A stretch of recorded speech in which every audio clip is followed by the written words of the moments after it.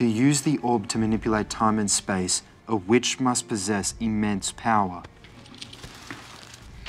Through day and night and endless hours, I hereby grant this transfer of powers. You already have Maddie's powers and the Council's powers. You won't even take mine. There are no more powerful wizards or witches left. Look, unless you guys want to risk the possibility of having your lives turned upside down or worse, Emma has to be stopped.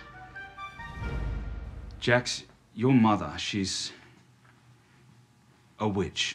Mature witches are more powerful than even the most powerful wizards.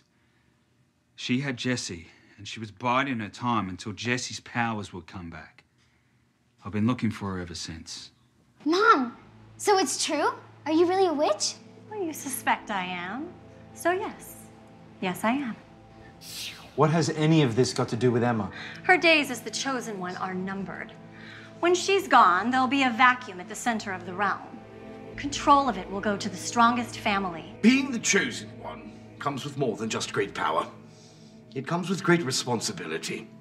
You seem to have forgotten that. I just came by to say thank you. Thank me? For what? Your powers. My powers? The ones you placed in the orb. They're mine now, Emma.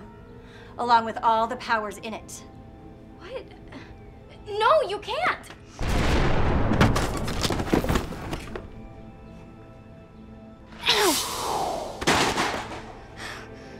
Of stomach flu is this?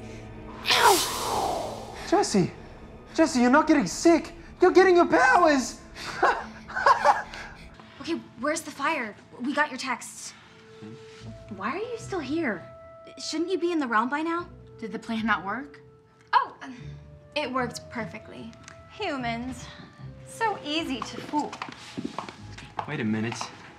You're not Emma. So, if you're not Emma, then who? are... Oh. Bingo. Uh, what are you gonna do to us? Keep you out of my way.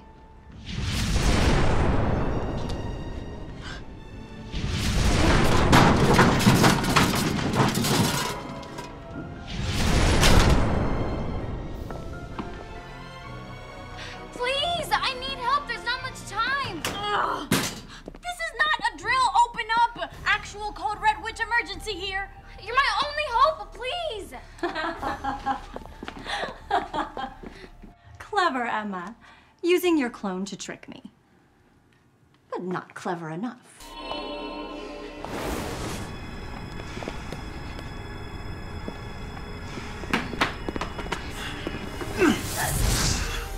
Jax, I knew you wouldn't desert me.